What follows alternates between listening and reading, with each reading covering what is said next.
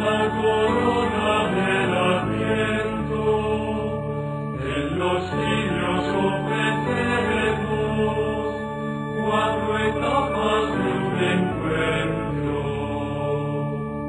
Mocego calle primero el Antiguo Testamento, los profetas son el Verbo, lo anunciamos.